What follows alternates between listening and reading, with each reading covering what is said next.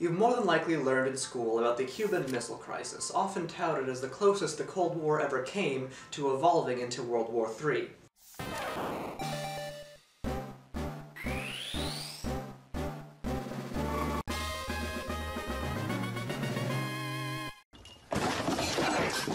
For 13 days in 1962, the US blocked submarines that were suspected of being armed with nuclear weapons on their way to Cuba. In schools, teachers were telling their students what to do if nukes were set off in nearby cities. He's duck and cover, duck and cover. People were generally preparing for the end of civilization. Awkward miscommunications between the White House and the Kremlin kept making things worse and worse. Firebrands railed about how we should be striking the Soviets preemptively before they had a chance to set up nukes in Cuba that would be capable of hitting US cities. Although we would later learn that we were very much not stopping the first shipment of nukes to Cuba, and they were very much already there. But here's the thing you might not know we came a lot closer to the actual reality of nuclear annihilation in those 13 days than people tend to remember. And it had absolutely nothing to do with Cuba or submarines, and actually generally little to do with the Soviet Union at all. To understand this particular side story and the long, complicated mess of CIA assassinations, dog astronauts, proxy wars, uh, psychological experimentation, and everything else that was the Cold War, we have to travel about 2,000 miles northwest to Duluth, Minnesota. On the night of October 25, 1962, at a now defunct Air Force base in Minnesota, a guard at the Direction Center saw a large figure trying to enter the base. We have an intruder! How did he get in? In window? Bye-bye. He raised an alarm and shot at the would-be intruder, who then promptly ran away on all fours.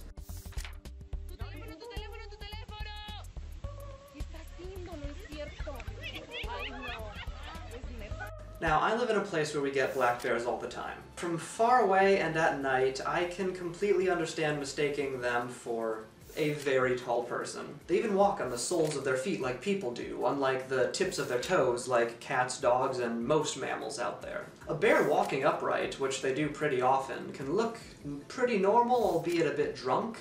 Which, seeing as you thought this bear was a Soviet spy, yeah, that kind of checks out. It wasn't too long before the guard realized his mistake. Tensions were running quite high, higher than they ever had before, and it's hard to blame him for being overly cautious given the circumstances. Because of the events going on at the time around Cuba, all of the military bases in the United States were currently on alert DEFCON 3, basically one of the highest alerts they could possibly be on. Everyone was expecting intruders. They had been briefed by higher-ups in the military to expect Soviet saboteurs to sneak onto military bases and other strategic places in the United States, planting bombs, doing other minor acts of sabotage, and such acts would precede the actual raining nukes from the sky that everyone was expecting to happen any day now. If you think that was a silly thing for them to have been worried about, war was pretty different back then. And a lot of it was done by individual undercover saboteurs and you can watch my video here talking about some specific German saboteurs who blew up New York City uh, before we had even joined the war in 1916. So there was every reason to believe they were actually under attack. But no, for as much as the Soviets love to train animals for their war effort, and I might make a video in the future about their uh, spy dolphins and other such plots. This particular black bear was no such undercover operative. Unless... So that was the end of the story. In Minnesota, at least. Moving south about 240 miles to Camp Douglas, Wisconsin. And that alarm the guard sounded up in Minnesota was causing problems. You see, when one military base raises an alarm, all of the surrounding military bases in that area are also sent similar alarms to be on high alert. So, Volk Field Air National Guard Base in Wisconsin received an alert. A different alert. The wrong one. The absolute very worst one. The alarm systems in this particular base had been recently rewired, and they had been rewired incorrectly, so that this there's an intruder on a different military base alarm did not sound. Instead, it set off the fireman bells throughout Volk Field, which, bonus fact, those fireman bells are called klaxon bells, which I didn't know that before researching this, so there you go. The klaxon bells, which alerted the pilots sleeping in their bunks at the time that the Soviets were on a bombing raid. A nuclear bombing raid. And again, this is the third day of the Cuban Missile Crisis. So they had every reason to believe this was a legitimate alarm. The Navy was at that very second blockading nuclear missiles from the Soviet Union from making it to Cuba, where those nuclear payloads would be set onto ICBMs and pointed at Miami. Everyone knew this. So this was a very believable alarm that they were already expecting to receive at any minute. So they got in their planes. What kind of planes? Well, these were pilots of F-106A interceptors, planes designed to seek and destroy nuclear weapons before they could actually hit the ground. And what was uh, the United States' decision at the time to destroy nukes in the air before they could hit the ground? Well, nukes, of course. So, you want to fight fire with fire, huh? Magic missile!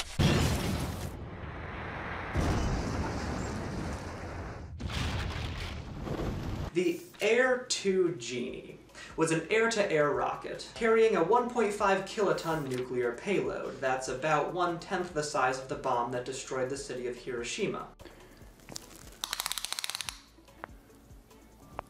That's quite big. But they were planning on shooting this bomb in the air, in the skies, above the United States, at a plane carrying even larger nukes.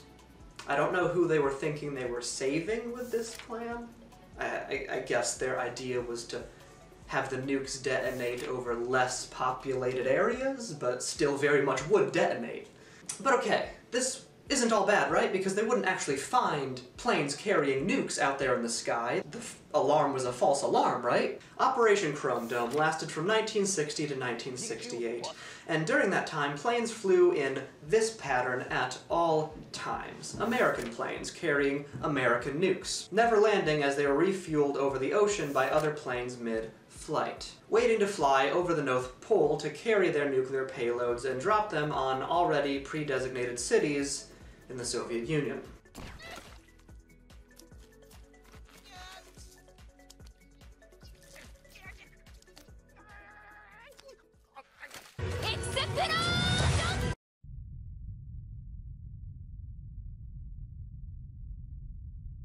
So in short, yes, many, many nuclear-armed planes were already in the skies that night. Heading back to Wisconsin, I wish I could tell you the name of this epically unsung hero of the Cold War. Um, I imagine a lot of this is classified and uh, his name has not been released. Um, even the details I'm telling you weren't declassified for the next 25 years. An officer at Volk Field decided that th- they would actually double check the order to end all of human civilization by calling the military base who sent out this alarm. And after calling and confirming, yes, this was a false alarm, he drove his Jeep on the runway in front of nuclear armed planes flown by high strung, overtired pilots who were trying to take off in front of him, flashed his headlights, and averted a disaster. Alright, so you may still be thinking that I've been exaggerating. How could this incident, even if taken to its extreme, possibly have led to full nuclear annihilation of the world? Uh, because we still would not have been fighting the Soviet Union. Yes, it would have been a tragedy, but you'd think it would just have been an American tragedy and one of our own making. But that's not it. If you come with me on the journey of taking this comedy of errors to its logical extreme, keeping in mind that crazier sequences of coincidences have happened before, imagine this. A genie bomb is shot at an American bomber plane. A scarily likely opportunity that night in a sky full of high-strung, terrified pilots who had been told that there were enemies in the air.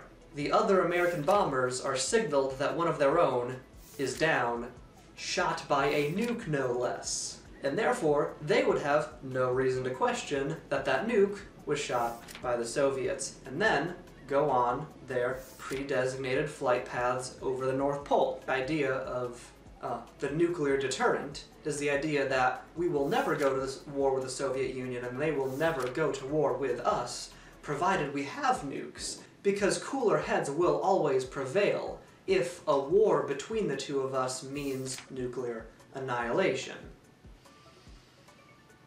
Cooler heads were not always in charge, and we just got very lucky for a very long time. Oh, hi, thanks for checking in. I'm still a piece of garbage. Here's a supposedly cheery message from Wikipedia. Many scholars have posited that a global thermonuclear war with Cold War era stockpiles, or even with the current smaller stockpiles, may lead to human extinction. This position was bolstered when nuclear winter was first conceptualized and modeled in 1983. However, models from the past decade would consider total extinction very unlikely and suggest parts of the world would remain habitable. Good. Total human extinction, very unlikely. Some places would remain habitable. In America, we tend to make things about ourselves, but in reality, the Soviet nukes were not pointed at American cities, maybe Alaska. In general, they couldn't reach our country. We could reach them. We had military bases in Turkey, and from there, our ICBMs we had set up were pointing nukes directly at Moscow. And not just Moscow either, but basically every major capital in the entire Iron Curtain was threatened with not just our nukes, but again, people forget, other countries were involved in the Cold War as well, and England and majorly France. France really liked their nukes. People forget that. France was the country that went the longest testing their nukes, uh, long after the rest of the countries signed treaties to never test atmospheric nukes ever again. They were just casually bombing Algeria. This is the thing that caused the Cuban Missile Crisis to begin with. That's the situation. We were only scared when they were nuking us, not our European allies. So this is why the Cuban Missile Crisis mattered so much. The ICBMs they had could hit major population centers for the first time. The Cold War finally became real for many people who it was just a meme that we'd go to school and learn the duck and cover song, right? This was now, oh, they can really nuke us any second, and those missiles are here now. So people knew what putting those nukes on Cuba truly meant. And that brings us full circle back to Duluth, Minnesota, and a bear just trying to pack away some military rations before winter. Bears are not true hibernators. There are frog species that freeze entirely before thawing out in the spring. There are rodents whose heart rates decrease to around 3 beats per minute but somehow stay alive. And despite waking up once or twice uh, for a mid-season snack, bears are one of the most well-adapted animals to surviving the harsh Minnesota winters. I can't imagine this bear ever understood that it almost caused a different kind of winter entirely. One thing that no animal is specially adapted to survive. this has been History Science Theater.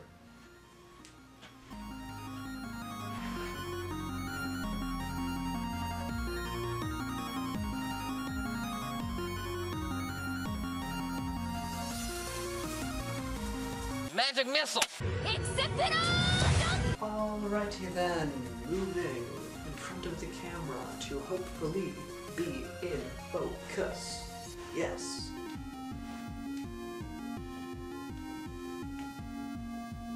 Good? Okay.